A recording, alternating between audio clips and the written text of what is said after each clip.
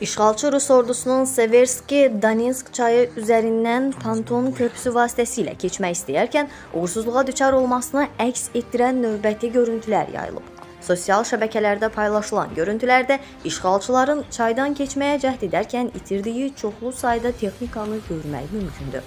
Həmin görüntüləri təqdim edirik.